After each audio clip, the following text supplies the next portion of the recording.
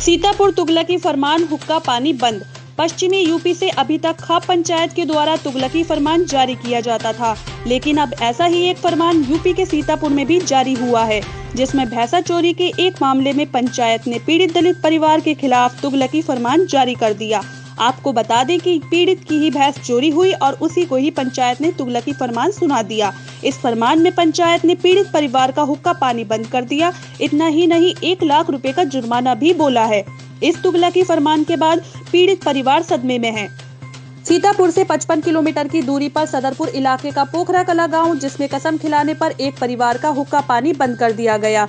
और एक लाख रुपए व सात जवार को खाना खिलाने का तुगलकी फरमान पंचायत ने सुनाया। इतना ही नहीं, सोनकर बिरादरी के सैकड़ों गाँव में बसे लोगों को फैसले की चिट्ठियाँ भी भेज दी गई है। समाज से बहिष्कृत परिवार भागा भागा घूम रहा है। सामाजिक उत्पीड़न के इस मामले में सदरपुर थाना इलाके के पोखरा कला गाँव के रहने वाले प्रेम के घर के दरवाजे से दो भैंसे चोरी हो गए थे। पीड़ित ने 7 दिसंबर को थाने में एक प्रार्थना पत्र भी दिया था।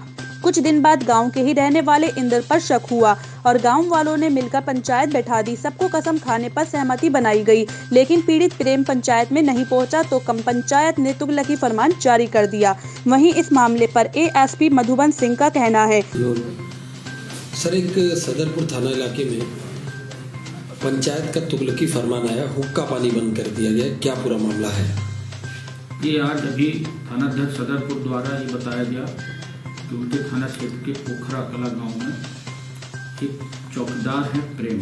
इनका भैंसा चोरी विगत छः सात छः बटे सात की रात में हुआ था। उस भैंसा चोरी हो जाने का आरोप इन्होंने गाँव के ही दो लोगों पर लगाया था। ये, इंदल और हरीश। और इन्होंने ये तय किया था कि, अगर ये कसम खा लेंगे पंचायत में तो ये माना जाएगा कि ये भैंसा जो है इन्होंने नहीं लिया। इस बात की पंचायत गाँव बुलाई गई और इन दोनों लोगों ने जो है कसम खाई और आठ दिन बाद भी उनके भैंसा जो है नहीं प्राप्त हुआ।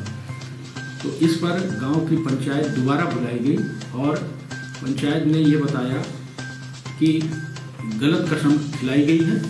इसलिए पंचायत के कुछ लोगों ने मिलकर इनके खिलाफ एक कागज़ पर हस्ताक्षर करके इनको एक कागज़ नोटिस टाइप में थमा दिया, जिसमें ये लिखा गया कि एक लाख जुर्माना देंगे और इनका जो है तो पूरी जो इनकी बिरादरी है, उसको दो टाइम का भोजन कराएँगे।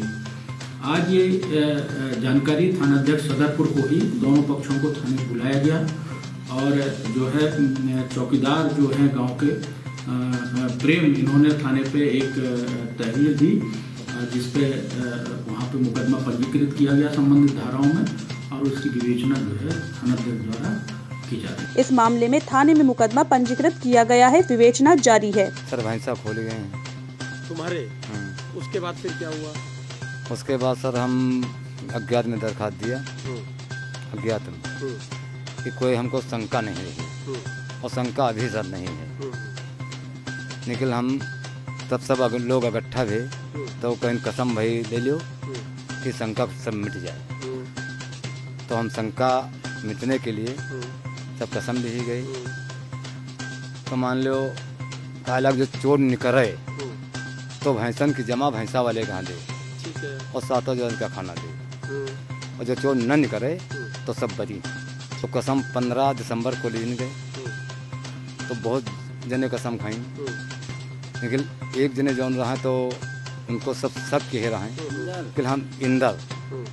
तो हम सब नए हम कहन कि सग हम की करी पता नहीं को लई गवा और की हम रिपोर्ट कर दी। की की हम रिपोर्ट करी जो ले और कोई गवा और मारा और कोई जाए।